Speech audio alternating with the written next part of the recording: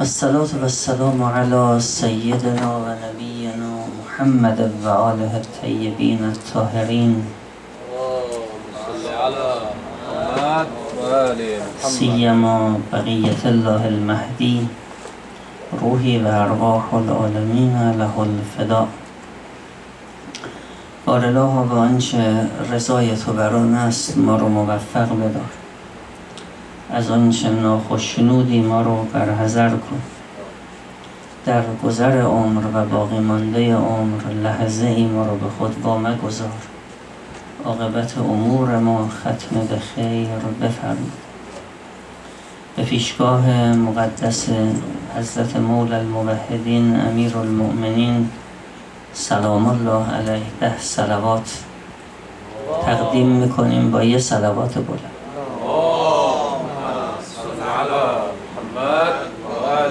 محمد.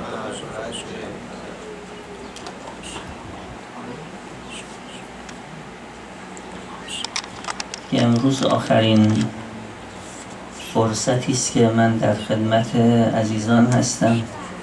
سوره لغمان رو شروع کردیم اما به پایان نرسید. یا حالا امروز یه فراز دیگری از این سوره رو انشاءالله عرض می‌کنیم و بعد برای حسن ختام یک روایتی از امیر المؤمنین سلام الله علیه رو که درباره صفات و ویژگی های مؤمن بیان کردن عرضه میکاریم و دیگه همه رو به خدا میسپاریم در سوره لقمان به ده منشور و دستور تربیتی لقمان حکیم پرداختیم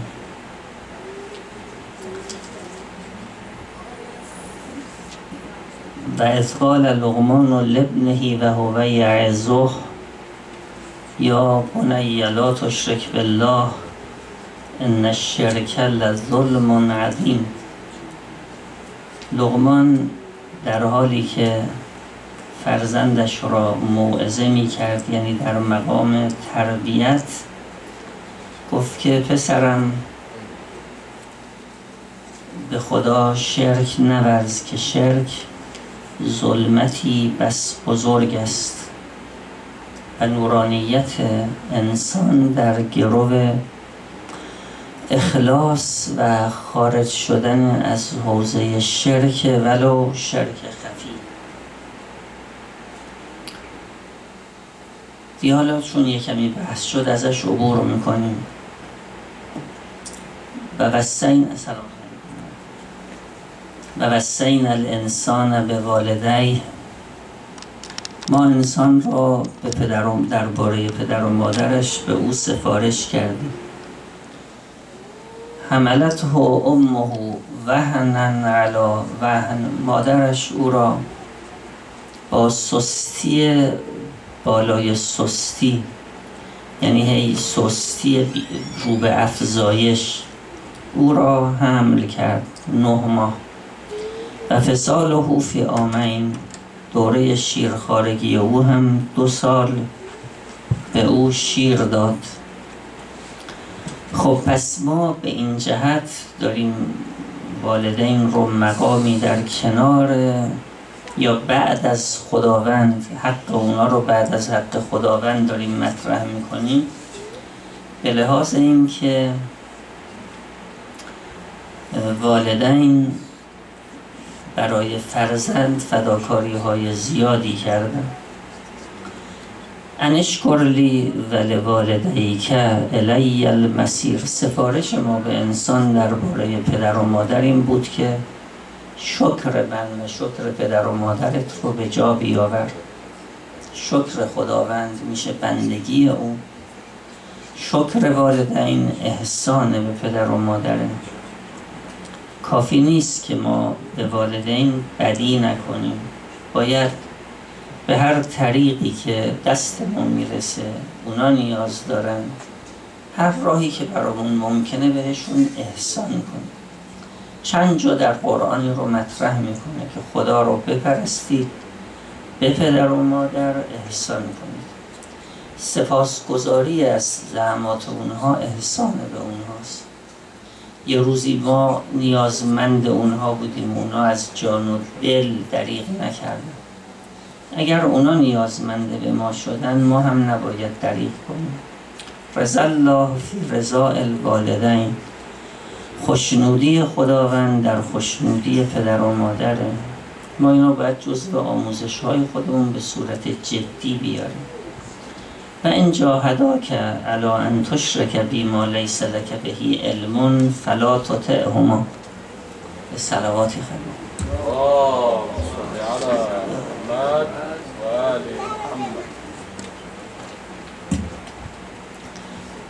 خیلی اگر تلاش کردند که تو را به مسیر شرک ببرند که به من شرک ببرزی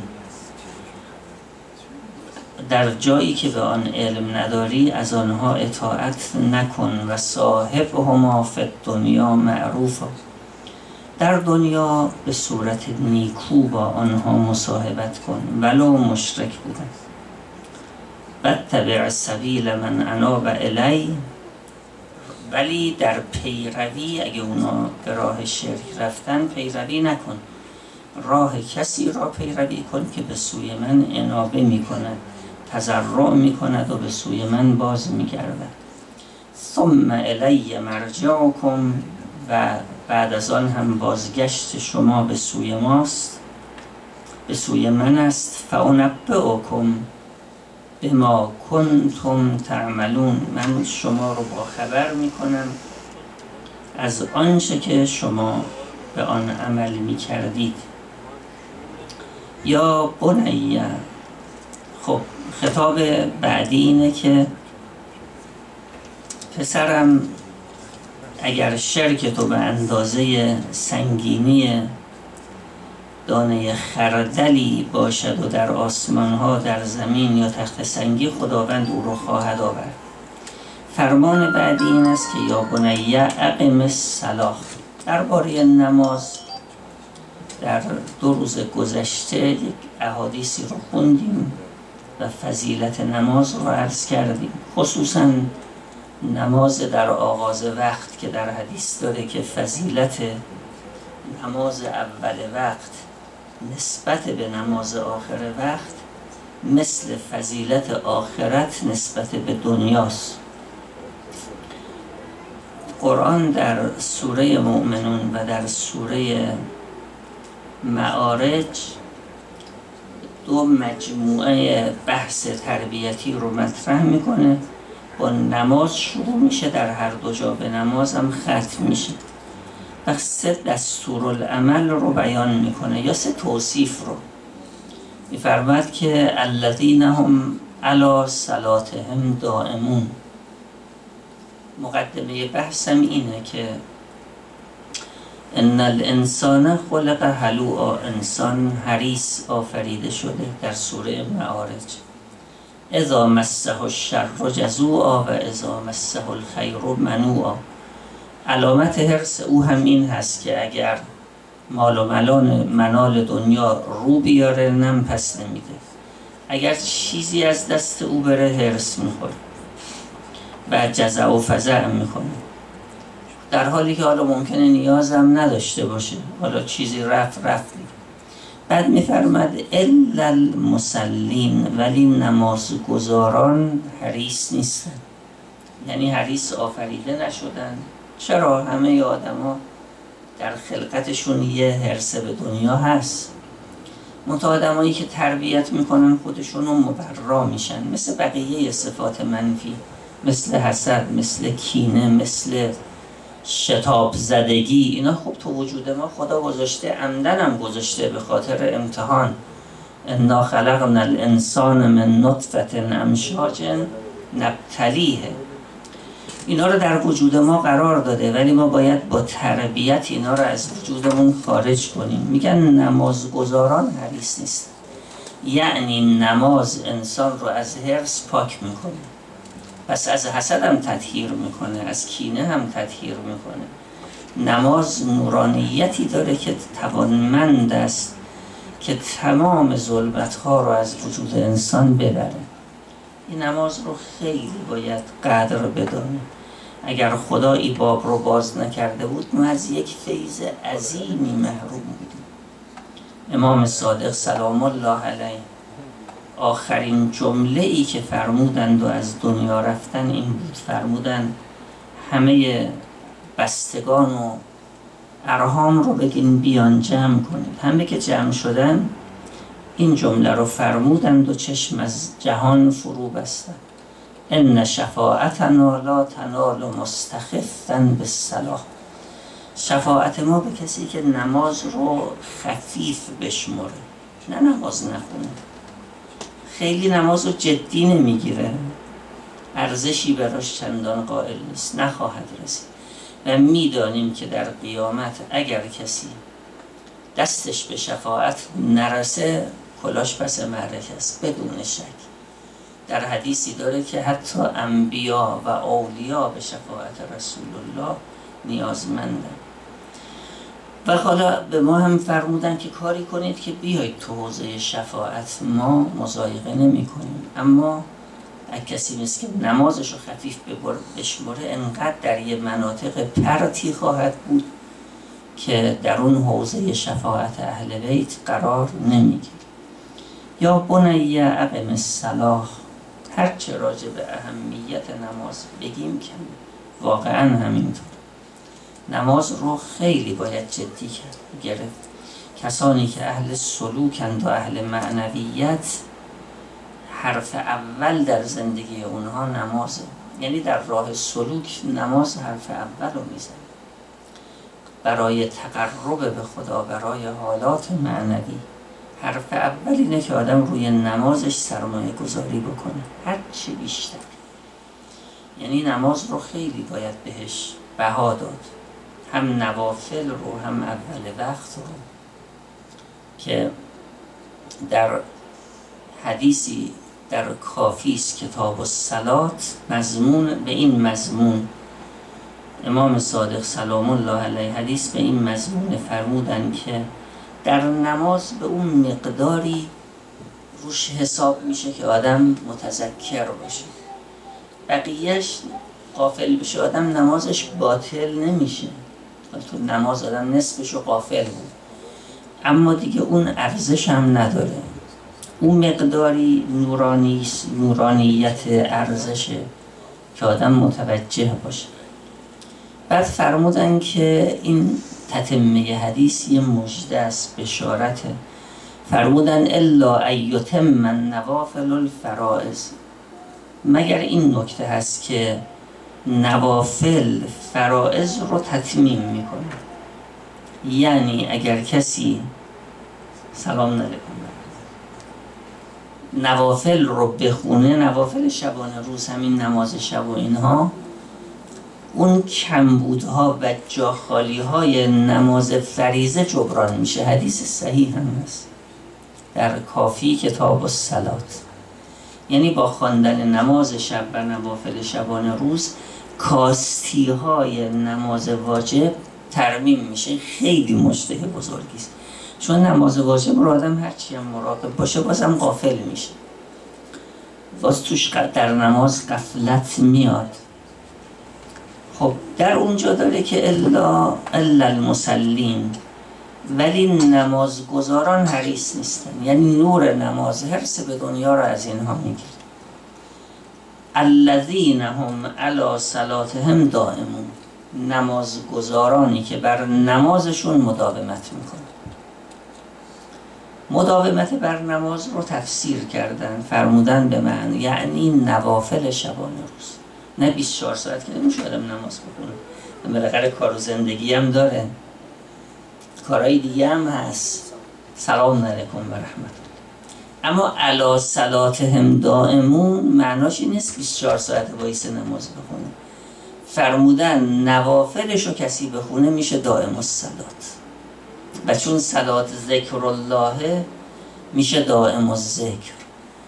و دوام الذکر ینیر القلب و الفکر. این جمله است که از امیر المؤمنین سلام الله علیه در قرر الحکم نقل شده. کسی که مدام به یاد خدا باشه هم قلب او نورانی میشه هم فکر او نورانی میشه.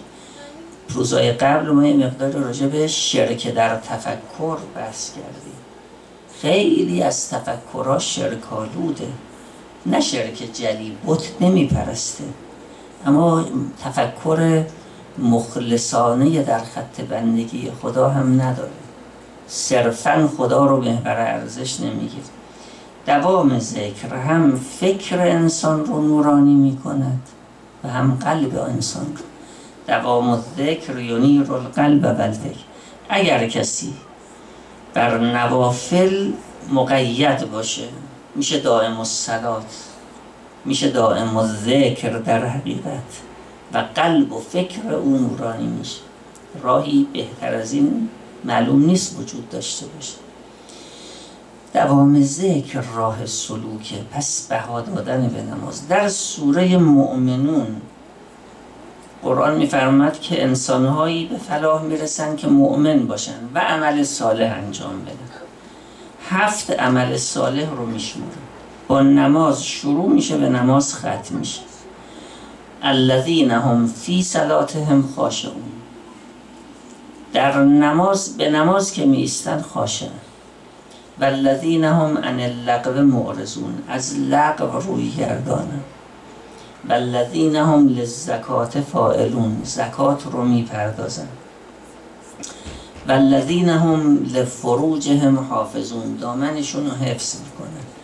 الا علی ازواجهم یا او ما ملکت ایمانهم فانهم غیر ملومین مگر در مورد همسرانشان و یا ملک یمینشان که در این صورت ملامتی بر آنها نیست.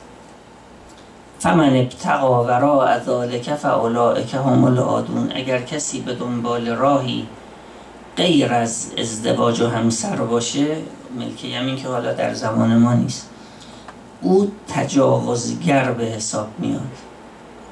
والذین هم لاماناتهم و عهدهم راعون امانت ها و عهد خودشون رو می‌پردازن. هفتم والذین هم علی صلواتهم یحافظون. بر نمازهاشون محافظت می‌کنن. هفت, هفت ویژگی رو میگن. اولیش نماز آخریش نماز پنج تا ویژگی هم این وسط. آیا این پیام رو نداره که همه اعمال در کادر نماز مورد توجه قرار می‌گیرن که این سریح روایات ماست؟ اول به نماز نگاه می‌کنن بعد بقیه اعمال رو مورد توجه قرار میده. سه ویژگی میگن.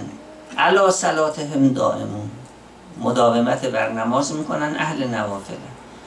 علا هم یا علا هم یا حافظون محافظت بر نماز یعنی نماز اول وقت و در وقت فضیلت. به نماز که میستن فی هم خاشعون. در نمازشون خشوع دارن. در ابواب احادیث اگر ملاحظه بفرمایید درباره خشوع ائمه هدا در نماز یک یک سخن گفت که اینا به نماز می ایستادن چه حالتی داشت؟ تمرین می‌خواد یه کمی دم لحظاتی قبل از نماز سر سجاده بنشینه. یه خورده حالت نماز پیدا بکنه. دلش آروم بشه از افکاری دیگه بیرون بیاد. بعد با تومعنینه خدا رحمت کنه. این مرحوم آقای مولوی بودن. از شاگردان مرحوم قاضی تبا تبایی که آخرین شاگردان مرحوم قاضی که آقای مولوی بود پیرمردی در مشهد. ایشون قبل از مرحوم الله بهجت از دنیا رفت. یکم آیت الله بهجت بودن در قم رضوان الله علیهم علیه ما علیهم اجمعین. بعد اون اواخر حیاتشون بود ما یه بار خدمتشون بودیم. یکی از آیون روحانیون گفتن که چه کنیم که در نماز حضور قلب پیدا کنیم؟ ایشون فرمودن که نمازهای واجب رو براش سرمایه گذاری کنیم. قشنگ بیستید با تو معنینه بدون عجله. و اگه آدم عجله بکنه حضور قلب نمیاد. یه وقت بذاره برای نماز. تعقیبات و مقدمات نماز یه خصوصیتش اینه که آدم می‌دونه نماز که نمی‌خواد زود پاشه بره. عجله کم میشه. می‌دونه بعد از نماز دو دقیقه پنج دقیقه میشینه تعقیب می‌کنه. گفتن که حالا ایشون می‌گفت ذکر رکوع و سجود و هفت بار سلام علیکم و رحمت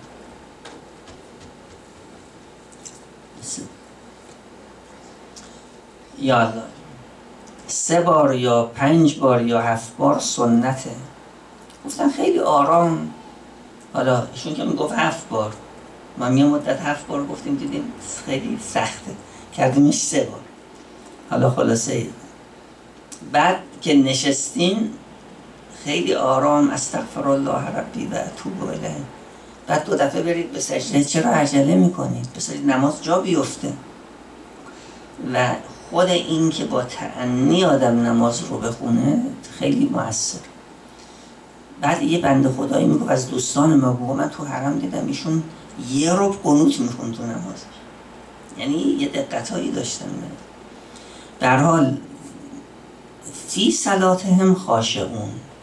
آدم بدهکارانه باید بره به درگاه خدا نه طلبکارانه. واقعا هم بدهکاریم یا طلبکاریم غرق نعمتهای او هست. گل جاهل و ازا یسلی ینتظر الوحی. آدم جاهل دو کرد نماز که می‌خونه منتظر ببینه جبرئیل نازل میشه که بهش وحی کنه این نماز کنه مثلا چه کردیم در برابر این همه انعام پروردگار؟ باید با شرمندگی به حضور خدا بریم. خدایا تو اجازه دادید که من ناقابل بیام به محضر تو. فی صلاتهم خاشعون. خشوع در نماز امر عظیمی است یه دستوری هم تو روایات به ما دادن. گفتن که سل سلات مبدع نماز که می‌خونی نماز کسی رو بخون که داره با نماز خداحافظی می‌کنه. آخرین توشه خودش رو از دنیا گرفته و داره میره.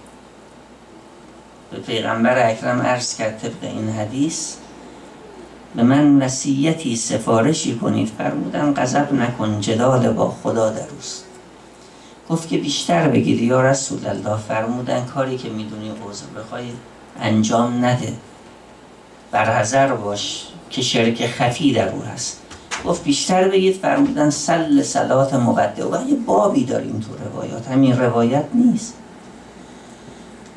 یه ها که گاهی تمرین کردن میگن آثار عظیمی داشته. آدم فکر کنه آخرین نمازه.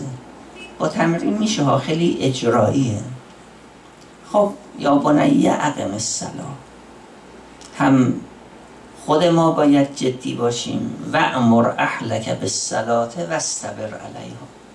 هم اهل تو به نماز امر کن به پیغمبر اکرم میده هم خودت صابر باش بر نماز. عجله رو در نماز از خودمون بگیریم. معنای صبر بر نماز اینه. خب نماز که می‌خونیم. سلام علیکم. عجله بر نماز رو از خودمون بگیریم. یعنی آدم هی تو نماز به خودش تبین کنه کجا می‌خوای بریم یه جمله ای داره سعدی قشنگی که یوسف فروشان خرند. یوسف فروشن تا چه خرند می‌خواد پولی که با فروش یوسف به دست میاره چی باش می‌خواد بخره بهتر از یوسف؟ حالا آدم پنج دقیقه در نماز ده دقیقه یا تون تون بخونه بشه پنج دقیقه. ما نمازهای چهار رکتی و ذکر رکوع و سجود و سه بار بگیم خیلی با تعنی میشه هشت به ده دقیقه نمی‌رسه. حالا آدم اینو کنه پنج دقیقه. او دقیقه شو می‌خواد چیکار بکنه؟ که بهتر از حضور در نماز باشه. با او دقیقه چی کاری چه کاری می‌خواد انجام بده؟ بله؟ کارش هر وقت بیکار شد میاد نماز می‌کنه خب یه سلوات خد یه جمله دیگه هم بگیم بریم سر حدیثی که از امیر المؤمنین ارز کردیم. لطفا در مورد جایگاه نفرین در دین ما آیا باید از خب موقع سوالات اینو چشم خب دستور العمل بعدی. و امر بالمعروف و عن المنکر. پسرم به خوبی ها امر کن از منکرات نهی کن. این حساسیت دینی حساسیت نسبت به کارهای خوب جزء دین ماست. چرا امر به معروف در زمان ما بد شده؟ این فرمان الهیه. المؤمنون و المؤمنات بعضهم اولیاء و بعض یعمرون بالمعروف و ینهون عن المنکر.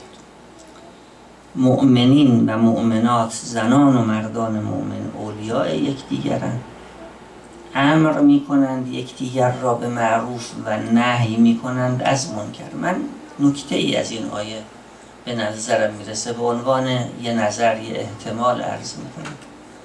خداوند در امر به معروف و نهی از منکر سلام علیکم و به مؤمنین نسبت به یکدیگر ولایت داده. در این حد. یا الله جان اگر خداوند این اجازه رو نمی‌داد ما حق امر به معروف هم نداشتیم. هر کسی خودش می‌دونه با خدای خودش. حق نهی از منکر هم نداشت. سلام علیکم. ای که میگن هر کسی تو قبر خودش می‌ذاره خب بله. اگر فرمان خدا نبود درسته ما ما کار داریم خدا؟ اما خدا در این حد برای مؤمنین نسبت به دیگر ولایت قرار داده. در امر به معروف حق ولایت داره که جلو من... امر معروف کنه جلو منکر رو بگیره. من از این آیه به نظرم این نکته می‌رسه. یعنی المؤمنون و المؤمنات بعضهم اولیاء و بعض یأمرون بالمعروف و ینهون عن المنکر. فقط مؤمنان نسبت به هم پس اولیاء هم هم بدون کسی که مؤمن نباشه رو باید امر معروف کرد یعنی به غیر مؤمن یعنی مسلم باشه مؤمن نباشه بلکه مسلم نباشه. نه مؤمن که میگن اون مؤمن مرحله اوله یعنی اعتقادات الهی داشته باشه اعتقادات اس- اسلامی و صحیح داشته باشه. در نظام اجتماعی چرا ما باید جلو منکرات رو بگیریم؟ لتأمرن بالمعروف و لتنهون عن المنکر او لیسلطن لیسلطن علیکم شرارکم وگرنه بدای شما به شما مسلط میشن. خوبا دعا می‌کنن دعاشون به اجابت دیگه نمی‌رسه. به حال یه فریزه الهی است. ببینید در اینجا فرهنگ امر به معروف و نهی از منکر در دنیای غرب رایجه. منتها در امور اجتماعی. در آلمان یا آقایی می‌گفت می‌گفت من ماشینم رو میشستم. همسایه اومد گفت که اگر با آب لوله کشی بشوری من مجبورم گزارش بدم. من خیلی توجه نکردم. پنج دقیقه بعد دم پلیس اومد. خب این امر به معروف نهی از منکر دیگه. و ما هم وقتی رو می‌بینیم مردم ما می‌بینن میان تعریف می‌کنن. میگن رفتیم کشورهای فلان. اینا انقدر حساسن. می‌گفت من می‌خواستم از چراغ قرمز رد بشم تو آلمان. این به قلیم به من گفت که یه حرف زشتی زد. خب همچین تعریف می‌کردم. گفتم تو حرف زشت او رو در نهی از منکر تو امر اجتماعی قشنگ دیدی؟ چطور تو کشور یه کسی به شما میگه خلاف شر نکن؟ میگی به تو مربوط نیست خودم می‌دونم. امر معروف در امور اجتماعی که اینا می‌کنن قشنگ می‌بینیم به امور دینی که می‌رسه باید بد ببینیم نه, نه. حالا من خوب نگاهشو می‌خوام میگم چرا نگاه بد شده؟ پیغمبر اکرم به سلمان فرمودن. زمانی می‌رسه که امر به معروف و نهی از منکر ترک میشه. گفت یا رسول الله طبق حدیث. یعنی میشه فرمودن بدتر از این. سلام امر به منکر میشه و نهی از معروف. الان گاهی, گاهی شمه هایشو می‌بینیم. میشه یا رسول الله فرمودن و بدتر از این. معروف منکر دیده می‌شود. و منکر معروف دیده میشه. الان یه بارقه های نمونه هایی شدن گاهی می‌بینه واقعا. اینجا که خب خیلی حرفا هست. اینجا تقوای دینی گاهی منکر دیده میشه بد دیده میشه. خب صلواتی ختم. عبادت بسیار عظیمی است بزرگان میگن قضا هم نداره. وقتش گذشت گاهی دیگه فرصت پیش نمیاد. اگر پیش آمد از این عبادت بزرگ خود رو محروم نکن. ما یه حدیثی از امیر المؤمنین علیه السلام نوشتیم. چند روزه میام این حدیث رو بخونم فرصت نمیشه. درباره اهل ایمان حضرت نکاتی رو بیان می‌کنم. ببینید دو در قرآن و روایات ما از مؤمن دو تا تعریف می‌بینیم. یک تعریف از مؤمن یعنی کسی که معتقد خدا و پیغمبر و معاد و ائمه هدا تا امام زمان رو باور داره. این مؤمنه. تمام حقوق ایمانی هم در این مرحله بر او مترتب میشه. غیبت مؤمن که میگن حرامه به همین معنا. یعنی اگر کسی اعتقادات صحیح و شیعه امام زمان بود مؤمنه. حرمتش واجبه غیبتش حرامه ولو اهل معصیت باشه. مگر در معصیت که در معصیت علنی اونجا حرمت او برداشته میشه غیبتش جایز میشه. وگرنه اگر کسی در منزلش گناهی مرتکب میشه در خفا نه تجسس جایزه نه غیبتش جایزه و نه سوء زن حتی گاهی بله مگر در یه مواردی مثل لانه های فساد مثل باندهایی که اونا حرف دیگری است؟ ولی کسی مؤمنیه یه گناهی رو تو خونش مرتکب میشه. کسی حق نداره حرمت او رو بشکن. اما یه تعریف دومی از مؤمن قرآن داره و روایات هم داره. و اون مؤمن حقیقی است. یعنی مؤمنه که ایمانش به بار نشسته. در سوره انفال میفرماد انما در همون آیات اوله انما المؤمنون الذين اذا ذکر الله وجلت قلوبهم. مؤمنین واقعی اونایی هستن که یاد خدا که میاد دل اینا به شور میفته. سلام. دید دانش آموزای درس اون اسم امتحان که میاد شور تو دلشون میفته. و اذا تلیت علیهم آیاته زادتهم ایمانا. آیات خدا بر اونها تلاوت بشه بر ایمانشون افزوده میشه. یا الله و علا ربهم یتوکلون. بر پروردگارشون توکل می‌کنن. زندگی متوکلانه ای دارن زندگی در توکل خدا خیلی نورانی است. نمی‌خوام وارد بحثش بشه بعد الذين يقيمون الصلاه و مما رزقناهم ينفقون بعد میگن اولئک هم المؤمنون حقا. اینا جدا مؤمنن. لهم درجات عند ربهم و مغفرتون و رزق کریم. اینها درجاتی در نزد خدا دارن. مغفرت خدا شامل حالشونه و رزقی کریمانه.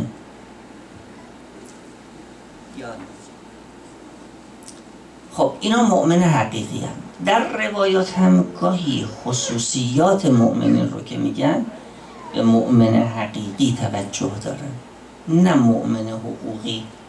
مؤمن حقوقی و مؤمنی است که حقوق ایمانی بر او متردد میشه. البته در دستگاه خدا هم ارزشمنده همون درجه از ایمان.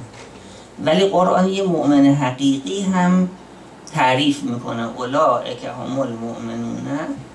حقا. حالا یه حدیثی از امیر المؤمنین سلام الله علیه در جامع الاخبار باب چهل و یک و مستدرک الوسائل جلد 11 صفحه 170 شست ویژگی رو امیر المؤمنین 64 ویژگی رو من شمردم. برای مؤمن بیان می‌کنم. حال چند تاشو می‌خونیم؟ قصد داشتم هر روزی چند تا بخونیم که این حدیث همش خونده بشه ولی دیگه فرصت نشد بحث و مجال نداد فرمودن المؤمن یکون صادقا فی الدنیا. من برای حسن ختام به کلام منقول از امیر المؤمنین علیه السلام. بحث رو به پایان می‌برم. فرمودن المؤمن یکون صادقا فی الدنیا. مؤمن در زندگی دنیا صادق است. صادقانه زندگی می‌کنه. ها زرنگند. اسمشو زرنگی می‌ذارن یه کارایی می‌کنه نه اهل ایمان. صاف بدون شیله پیله. رائل قلب چوپان قلب خودشه. وایی هم گفته شده نسخه بدل. قلبی پر گنجایش داره یا رائل قلب یه حدیثی یه روز خوندیم به امیر المومنین علیه السلام گفتن چه کردی؟ به این مقام رسیدی. فرمودن در خونه دلم نشستم هر چی غیر خدا رفت وارد بشه راهش نداد مؤمن باید چوبان قلبش باشه نظر گرگ وارد بشه. کینه سلام کینه بخ حسد حس انتقام. حرس به دنیا اینها مشکل سازن را القلب باید چوپان قلبش باشه. حافظ الحدود رعایت کننده حدود خداست. حدود یعنی حلال و حرام خدا. دو جا در قرآن تمجید می‌کنه بل حافظون لحدود الله اونایی که حدود خدا رو حفظ می‌کنن ازشون قرآن تعریف می‌کنه. مراقب حلال و حرام خداست مؤمن مؤمن حقیقی اینه. یک گناه عمدی آدم باید مواظب باشه ازش سر نزنه. حتی یه گناه حتی یه گناه صغیره. اگر شد بلا فاصله با توبه تدارک بکنه. یا یا حافظ الحدود حدود خدا رو حفظ می‌کند. وعا العلم ظرف علمه میگن دو گرسنه هیچ وقت سیر نمیشه. طالب علم و طالب مال منهومان لایش با منتها گرسنگی نسبت به مال بسیار مضمومه. بله برای رفع احتیاج آدم لازم داره در کسبم می‌کنه. اما هرس خیلی بده و گرسنگی نسبت به علم و معنویت بسیار پسندیده است. من یادم این طلبه هایی که اول دو مثلا دوره دانشجویی که در سوازم میخوندم با طلبه ها معنوس بود. من با مردم دنیا گاهی می‌دیدم سر و کار داشتم میدم اینا هی هرس می‌خورم فلانی به کجا رسید من هیچ چقدر زمین داره چقدر پول داره. دقیقا می‌دید. میبدیم برای طلبه های جوان می‌دیدی مثلا حالات بزرگان رو اینا میخوندن می‌گفتن ما چرا انقدر عقبیم. یعنی او هم حس عقب موندگی می‌کنه این هم حس عقب موندگی. اما او تو پول دنیا و پول و دنیا و اینا ای در معنویت و وعا العلم کامل العقل. مؤمن کامل عقل عقلش رو به کار میاندازه. بله؟ آن تو هم این هم یه حرفی. بعض آره بعضی هم کمالشون دیگه همه, همه کمالات رو جمع کرد آقای دکتر میگم ما تو هر دو قسمت احساس عقب موندگی خب بازم خوبه. خب کامل العقل. عقلی کامل دارد. معول کرم. جایگاه کرامت و بزرگواری است سلیم القلب قلبی سالم دارد. ثابت الحلم. قلب سلیم می‌دونیم همون چیزیست که از ابراهیم میگه خدایا یوم لا ینفع مال ولا بنون الا من اتى الله به سلیم. روزی که نه مال به درد می‌خوره نه فرزند مگر کسی قلبی سلیم به خدا تقدیم کنه که در اون صورت مال و فرزندش هم به دردش می‌خورن. اگر کسی تسلیم خدا بود مال و فرزندش رو هم در راه خدا به کار می‌گیره. ثابت الحلم بردباری او ثابته. بعضی تا یه خورده حوصله به خرج میدن بعد میگه نزا او روی من در بیاد. یا مثلا گاهی میگه روی سگی من در بیاد. نعوذ بالله مگه قراره که مؤمن حالتش عوض بشه؟ ثابت الحلم. باید بردباری رو مداومت کرد درش. آتف الیدین دو دست او اهل عطوفت و لطف و مهر بخشندگی است. باذل المال اهل بذل ماله مفتوح این جمله خیلی جالبه. مفتوح الباب للاحسان در خانه او برای احسان باز. گاهی من دیدم طرف میگه که من رو نمیدم کسی بیاد وقت منو بگیره مثلا. یا نمی‌دونم طمع کنه در مال من. خودتو خودتو محروم کردی. دیدید تو بعضی از فامیل های کسی هست تا کسی گرفتار میشه تو فامیل به یاد او میفته میرد در خونه او این نشانه کرامت. خدا به همه همین توفیق رو نمیده. ان این حدیث رو خوب حفظ کنیم ان هوائج الناس الیکم من نعم الله علیکم فلا تملن. ای که مردم حاجتشون رو بیان به شما بگن این از الطاف خداست به شما. نکنه از نعمت خسته بشید مفتوح الباب للاحسان در خونش برای احسان بازه. به خیر او امید دارن مردم. این خیلی مهمه. بندگان خدا رو از خیر خودمون محروم نکنیم. لطیف اللسان خوش زبان زبانش نرم لطیف با محبت. زبان یه موجود عجیبی است. هم هنر تخریبش خیلی زیاده هم هنر سازندگی. گاهی یه جمله ای دلی رو شاد می‌کنه یه جمله ای دلی رو میلرزانه. خیلی باید مراقب زبان بود. در سوره اسراء قرآن کریم به بندگان خودش توصیه می‌کنه قل عبادی یقول التي هی احسن. به بندگان من بگو وقتی که با هم سخن میگید بهترین عبارت رو برای هم به کار ببرید. ان الشیطان ینزغ بینهم.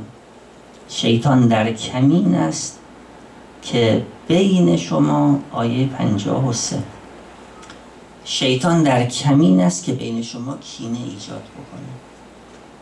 عبارت قشنگ به کار ببرید. تمرین می‌خواد. هنر خوب حرف زدن آدم باید یاد بگیره باید تمرین کنه. چطور گویندگان تمرین می‌کنن؟ نمی‌دونم کلامشون چنین باشه چنون باشه. در امور زندگی هم همینطوره. آدم تو خونه هم که حرف می‌زنه باید قشنگ حرف بزنه. میشه من با کلامم دلی رو بیازارم میشه دلی رو شاد بکنم.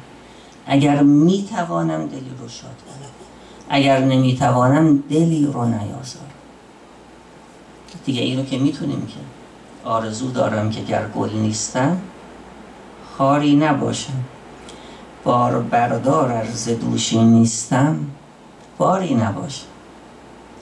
خب اینم خودش یه چیزیه که آدم لاقل مزر برای دیگران نباشه. من اگر می‌توانم با زبانم به کسی شخصیت بدم نمی‌تونم شخصیتی رو نشکنم. دیگه آخه اووریش چرا؟ اگه آدم یه خورده فکر بکنه آیه 53 سوره اسراء و قل عبادی یقول التي هی احسن. به بندگان من بگو وقتی با هم حرف می‌زنید عبارتی رو بپردازید که بهترین است. می‌خواد بگید بتمری بگید بفرما خود شخصیت بدید به طرف مانعی داره؟ معناش یکیه دیگه بنشین. بفرما بتمر اما سه اثر در دل و در محیط می‌گذاره. لطیف اللسان. ان الشیطان ینزغ بینهم. شیطان در کمینه که بین شما کینه ایجاد کنه. من اگر حرف نامربوطی زدم میاد شیطان رو دل او کار می‌کنه کینه منو در دل او ایجاد می‌کنه. خب این چه عقلی است که من این کارو بکنم؟ زبان بسیار بزرگترین و هنرمندترین عضو می‌تونه باشه. و قل عبادی یقول التي هی احسن ان الشیطان رب ینزغ. ینزغ بینهم ان الشیطان کان للانسان عدوا مبینا. ربکم اعلم بکم. خدا خوب شما رو زیر نظر داره می‌دونه. ای یشع یرحمکم و ای یشع یعذبکم. و ما ارسلناک علیهم وکیل. لاسه لطیف اللسان. تمرین در خوش زبانی مخصوصا در منزل. هشتاد درصد. من یه موقعی تخمین می‌زدم نمی‌دونم الانم همینطوری میگم. شاید. حالا بگیم درصد بالایی از مشکلات بین زن و شوهرها به خاطری که با هم بد حرف می‌زنن. یا چند وقت بیشتر یه جلسه ای خانم اومد گفت شوهر من خیلی آدم خوبیه اهل خرج و بزل و بخشش و زندگی رو هم در رفاه می‌ذاره اما گاهی یه نیشایی به من می‌زنه همه زندگی بر من تیره و تار میشه. به من میگه این تو خیلی خلاصه باید چنین که من همسر تو هستم. خیلی باید افتخار بکنی فلان کنی. تا تا نگفتی این اثر داره. وقتی گفتی که اگرم باشه دیگه بیارزش میشه که. یا برعکس بند خدایی می‌گفت وقتی می‌خوام وارد منزل بشم از دست زبان همسرم مثل که می‌خوام وارد جهنم بشم. هم مرد و هم زن. ما با خوب صحبت کردن می‌تونیم زندگی رو شیرین کنیم. دریغ نکنیم از همسر و فرزندانمون خوب سخن گفتن رو احترام گذاشتن رو محبت کردن رو. بالاترین عبادات هم گاهی وقتا همین چیزاست. لطیف اللسان کثیر تبسم بسیار تبسم می‌کنه. تبسم لبخند گشاد رویی. خب بقیه این حدیث هم میمونه. پیغمبر اکرم رو داره که دائمت تبسم بود. همواره تبسم می‌کرد. خب یه دوست سوال رو بگیم بعد یه چند جمله هم ذکر مصیبت و بعد دیگه همه رو به خدا میسپاریم و دیگه امروز آخرین روزی است که در محفل و در محضر شما هستیم.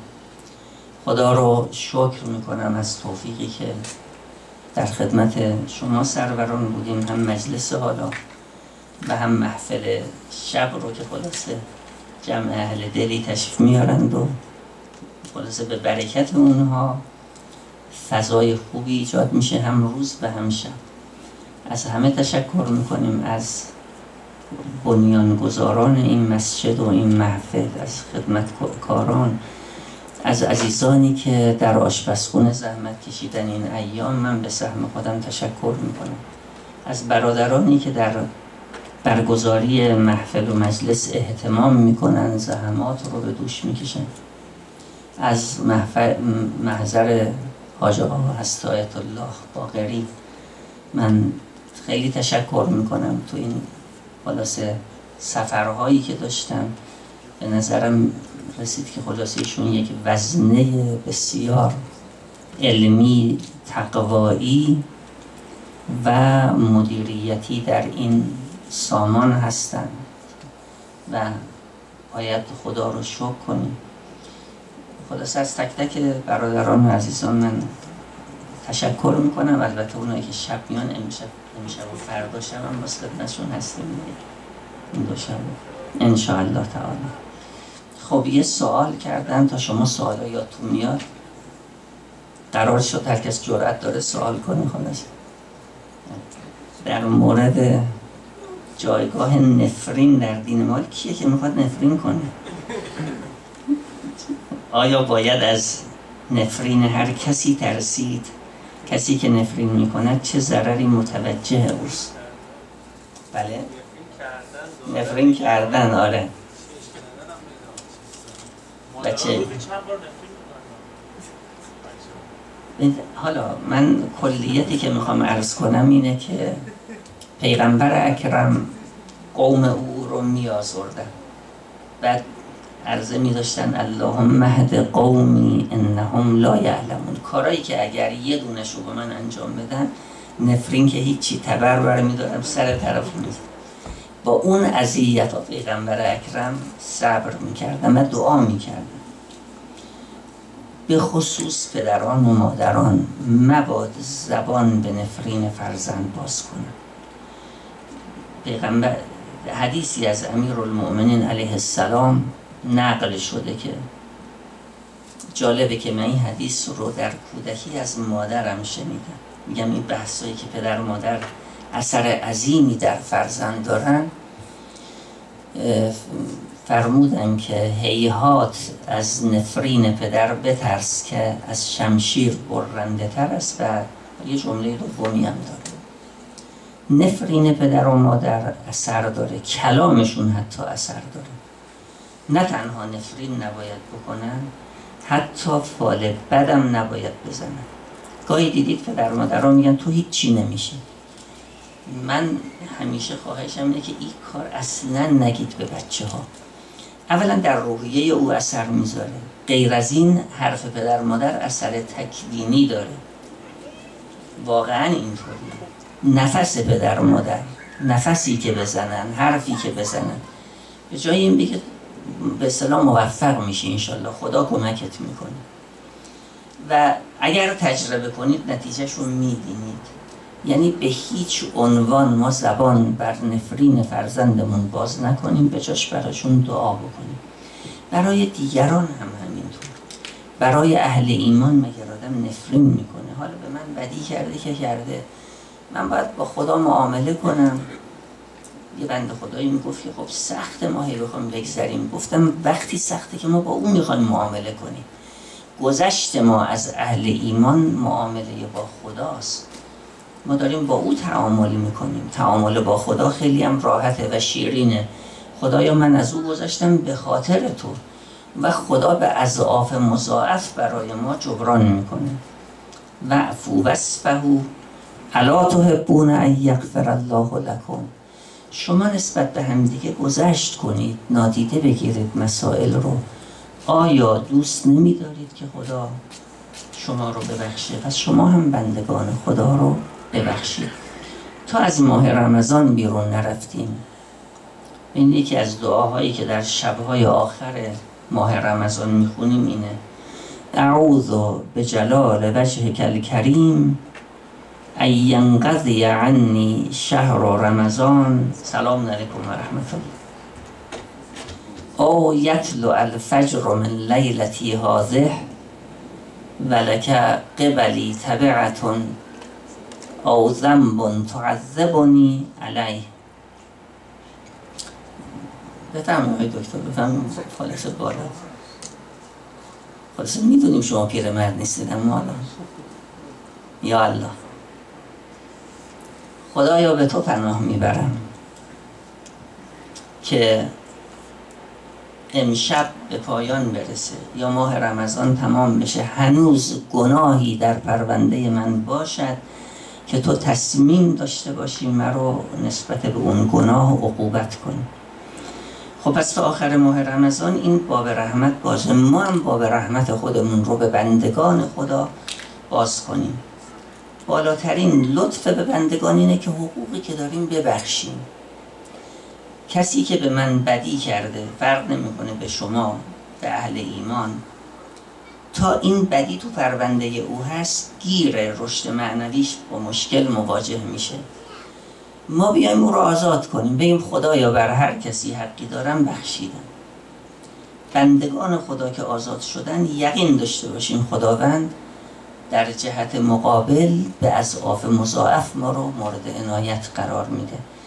انتظار داریم از خدا که با یک استغفار با یک استغفار در شب قدر انبان گناه ما رو ببخشن البته از درگاه اهدیت این انتظار بجایی است. اما متقابلا خدا هم یه تذکری میده. میگه شما که این انتظار رو دارید از بندگان من از بندگان مؤمن من گذشت کنید.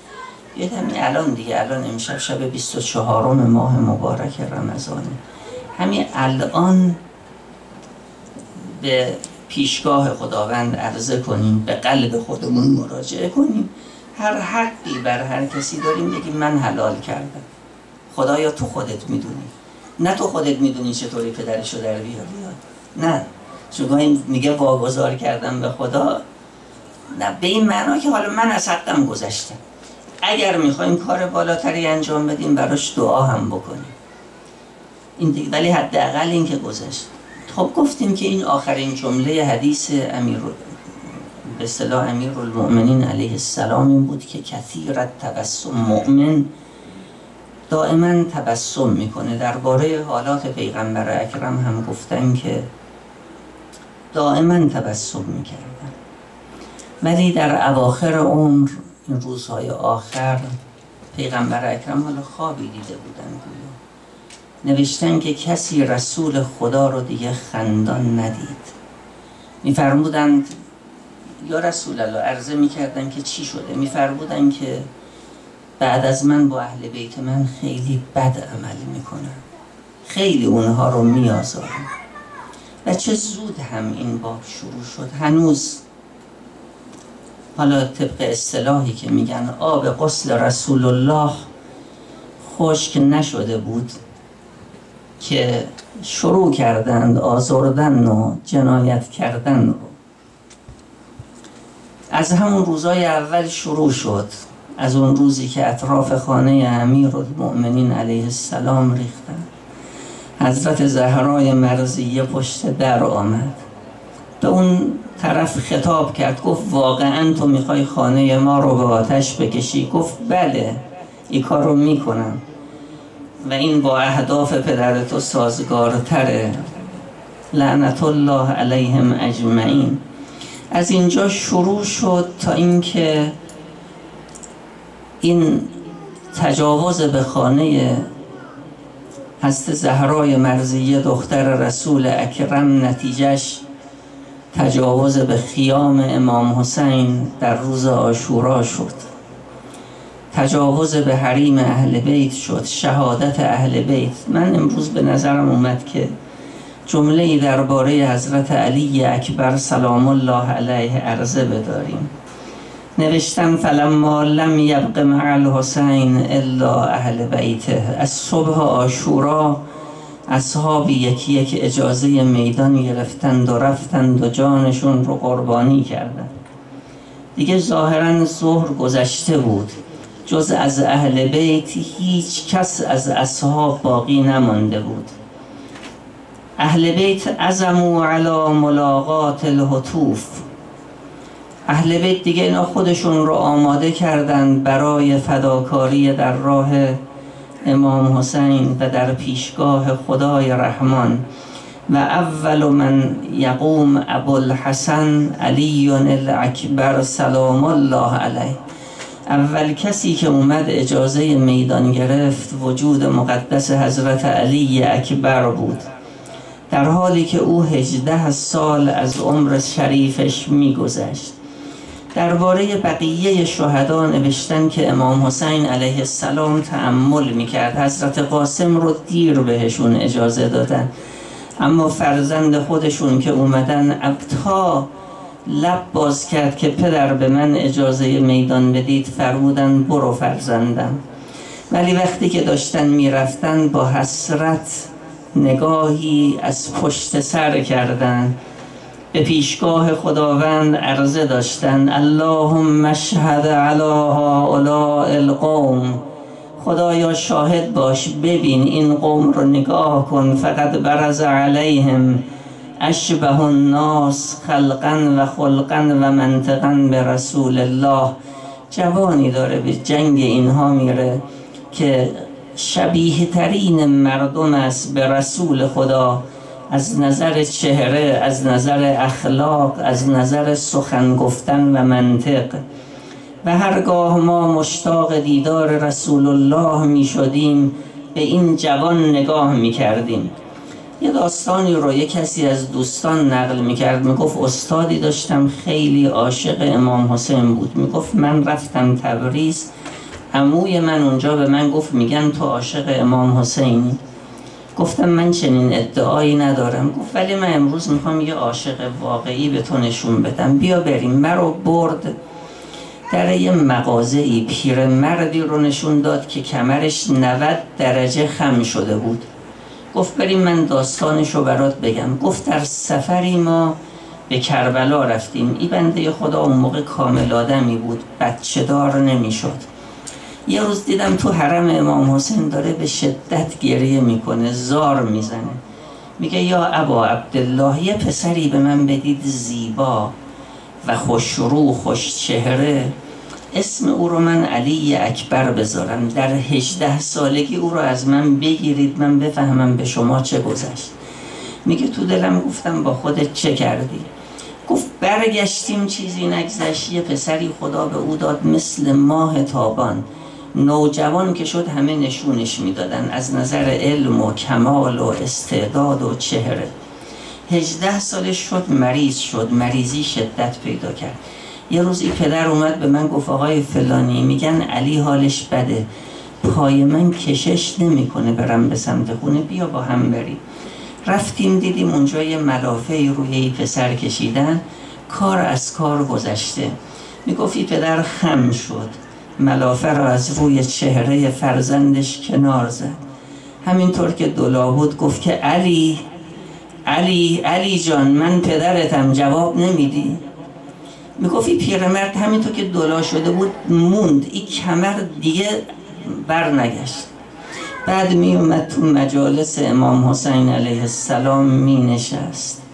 می گفت یا ابا عبدالله من حالا می‌فهمم تو چه کشیدی؟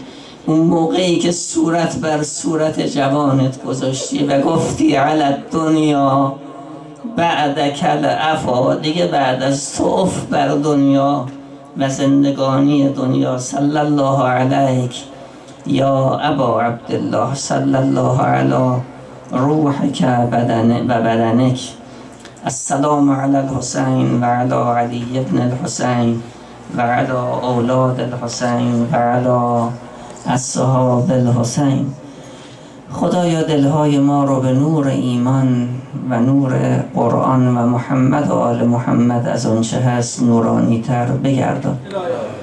دست امام زمان رو همواره بر سر ما برقرار بدار. چون وقت ازانه دیگه من دعا رو خلاصه می‌کنم. پروردگارا لحظه ای در دنیا و آخرت. دست ما رو از دامان امام زمان کوتاه مگردان. کشور ما خدمتگزاران به کشور از صدر تا زیل همه رو در پناه امام زمان محافظت بفرما علمای ما روحانیت ما همه رو در پناه حضرت بقیت الله محفوظ بدار. خدایا جمع حاضر رو همین از نامشون رو در دیوان یاوران و شیعیان امام زمان ثبت و ضبط بگردان. اللهم قرب ثم عجل فی فرج مولانا صاحب الزمان. نصار ارواح اموات جمع. رحم الله من قرأ الفاتحه مع